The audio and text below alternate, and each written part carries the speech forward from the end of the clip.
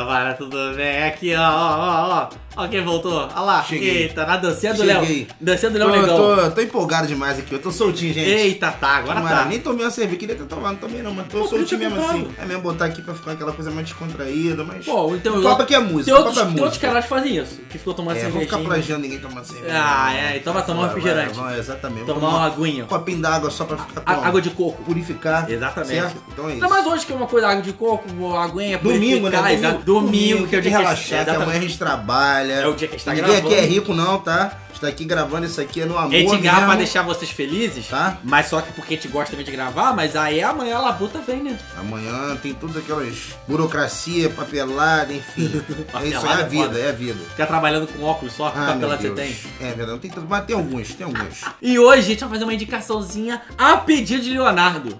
Qual, qual vai ser a indicação de hoje? Seu Jorge mais. Seu Jorge Almais, disco de cover, lançado em 2010, já tem tempão que lançou esse disco. Talvez é. seja uma das coisas mais antigas que eu tenho falado no canal até agora. Isso é bom, isso é legal. A gente tem que falar de umas coisinhas Sim, também, principalmente né? indicação, né, cara? Dá É umas tipo- indicações de umas coisas. Tipo umas coisas mais old school, umas coisas pra pessoa realmente descobrir. Mais do que provavelmente só ficar coisa falando coisa nova. Sim. E, pra quem não conhece, vem aqui ver essa indicaçãozinha pra saber mais de seu Jorge Almais. Então, foi!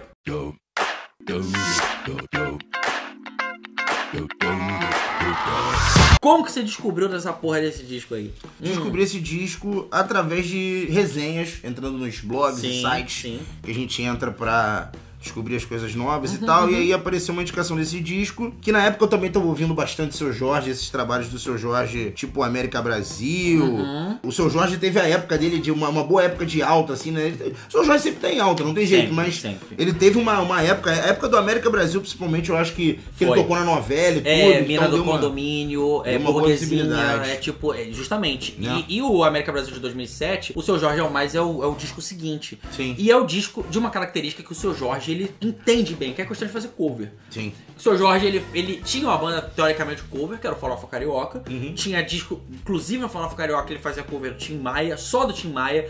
Na sua carreira solo, ele fez a trilha sonora do A Vida Marinha do Steve Sisu, o filme do Wes Anderson, que ele só tocava David Bowie, versões meio abrasileiradas, mas com cara de MPB de David Bowie. David Bowie gosta pra caramba. Então o seu Jorge ele já tinha a predisposição pra isso. E aí ele estava fazendo junto com o Antônio Pinto, que é multi-instrumentista, e o guitarrista e o baterista do Nação Zumbi, o Lúcio Maia e o Pupilo, eles estavam fazendo uma música Juízo, Juízo Final, Final. que é a última música desse trabalho. Fecha o disco muito bem, né? É a última música do disco, fecha realmente maravilhosamente Maravilhosamente bem. Do Nelson Cavaquinho, está fazendo um cover para o filme Linha de Passe, do Walter Salles. E aí ele jogou a ideia, jogou o verde. O que que você acha de fazer um disco de cover? E aí nasceu o seu Jorge Almais. Sim. Você que é mais afeiçoado ele, você que realmente conseguiu me vender a ideia de fazer essa indicação aqui. Era um disco de todos os seu Jorge. Acho que era o único, talvez, que eu nunca tivesse ouvido esse disco. Uhum. É, O que, que você acha propriamente da sonoridade? Como que ela é levada? O que, que eles trazem de novo aqui? Essa questão dos covers, como é colocada? Uhum. Cara, eu curto bastante a maneira como o disco começa, o cover do Jorge Ben, que é Errare Humanum Est.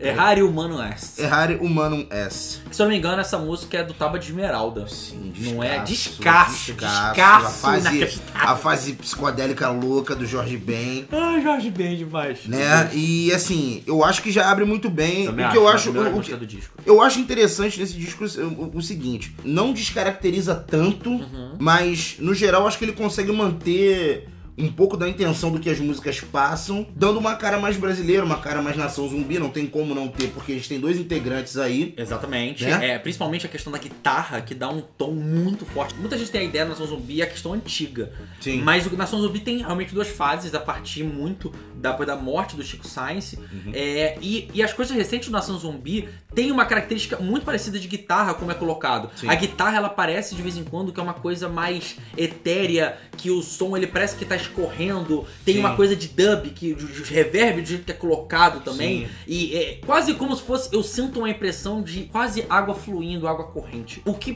porra, Recife, Nordeste, tem essa, essa identificação, tem essa, essa vibe mais é ao mesmo tempo roots, mas uma coisa mais tribal, mas uma coisa mais raiz e dialoga bem com esse mangue beat, mas um mangue beat um pouquinho diferente do que era feito Sim, no começo. Sim, sim. A escolha das músicas aqui foi muito boa. Eles foram pegando meio que um pouco do que cada um gostava pra fazer esse trabalho. Eu acho que tem boas versões, Sim. versões que ficaram interessantes. Ousado, né? Um trabalho ousado. Pra quem ainda nunca ouviu, vai ouvir ainda. A gente tem cover de Kraftwerk, a gente tem cover de Michael Jackson, Uhum. a gente tem um cover do Roy Ayers. Eu não conheço o trabalho dele solo, pra te falar a verdade, mas, essa música é conhecidíssima. extrema- que é Everybody Loves the Sunshine, essa música é extremamente famosa e é, ficou um dos melhores covers do trabalho. Sim, ficou bem legal. Porque ela ficou com uma cara meio de home shake, Mark DeMarco, ficou com uma cara louca. Internet, tem essas carinhas também Mean de soul, né? meio Exatamente. exatamente. Porque o disco ele dialoga pra caralho, principalmente por causa da voz do, do seu Jorge. A gente tava conversando isso.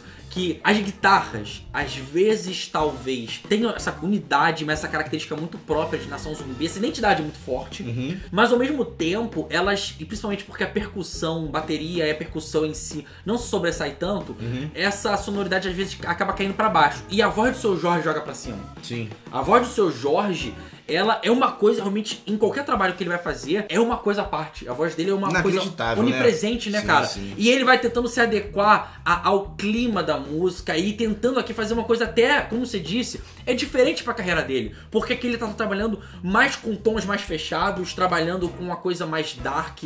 É, é, a, a música do Kraftwerk, que ele faz uma coisa mais até sussurrada, quase, e, e aquela coisa mais sem expressão em alguns momentos. A união dos dois mundos, eu acho que faz com que o trabalho ganhe essa estrutura. E essa música, por Everybody Loves the Sunshine, você vê realmente essa vibe soulman do seu Jorge muito forte, que ele já carrega em quase todos os trabalhos dele, mas aqui com essa música cantando em inglês, desse jeitinho dele de cantar em inglês. Porra, a música do Michael Jackson, Rock With You, cara. É uma ficou- das que eu mais gosto, cara. Gosto Cara, é uma dessa versão, que ela ficou despojada de um jeito que você consegue totalmente identificar a música original, mas Sim. ao mesmo tempo ela te aquece o coração. Cê- é, causa um sentimento de estranheza, porque a música original é muito fo- É a música que eu mais. Cara, é a música que eu mais gosto do Michael eu também Jackson. acho, eu concordo com você. Sabe? É a música que eu mais gosto do eu Michael amo essa Jackson. música, eu amo essa música. E, cara, você vê alguém mexer nela já é um negócio difícil. É, mas assim, quase heresia, né? Não, me- é, não mexe nisso não, cara.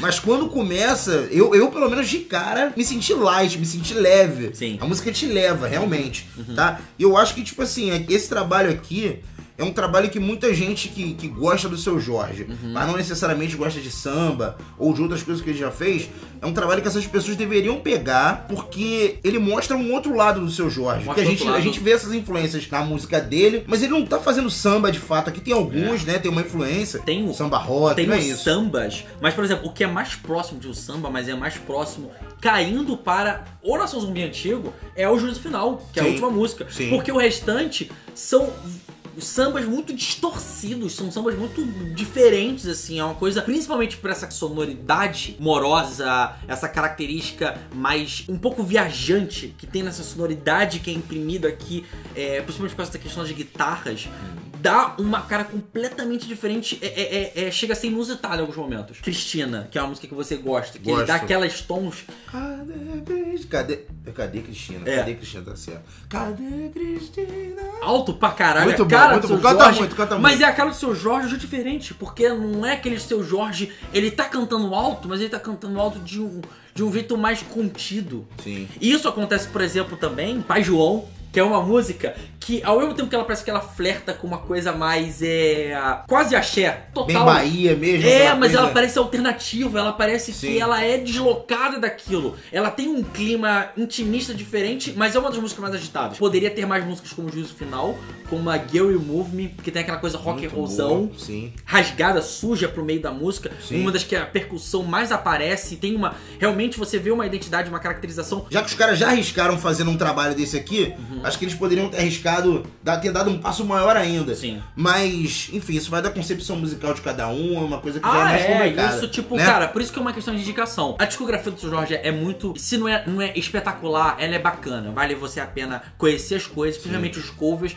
E esse foi um trabalho que eu não conhecia. O Léo me apresentou, eu achei bacana. Um monte de coisa aqui. Tem os covers que eu realmente vou levar pra frente. Achei bom pra caralho. E, tipo, é isso. Ouçam esse disco. Curtam nossa página. Isso, vai lá, vai lá, vai lá na fanpage, vídeo. volta e meia. Eu sempre posto um videozinho, posto uma foto, posto um comentário, uma notícia nova, sempre tá tendo lá. Comente aqui pra saber o que que a gente achou, né? Dê suas opiniões sobre o disco. Feedback bom ou não, sempre como eu digo, sempre na base, sempre tranquilão aqui. Mesmo Por for pra xingar, xingue na base. Xinga com respeito, que a gente, a gente quer ser xingado, mas quer ser xingado direito. Exatamente, xinga Né? fofamente, xinga fofamente. Exatamente. Então, foi isso, né? Foi outra indicaçãozinha. A gente vai tentar trazer mais indicações antigas, assim, de coisas até mais velhas, até, Sim, só pra, de bandas ou de trabalhos mesmo propriamente, pra poder realmente dar essa ideia de musicalize, de amplitude musical e por aí vai. Esse foi outro programinha. Aquele beijo, aquele abraço e aquele. Tchau.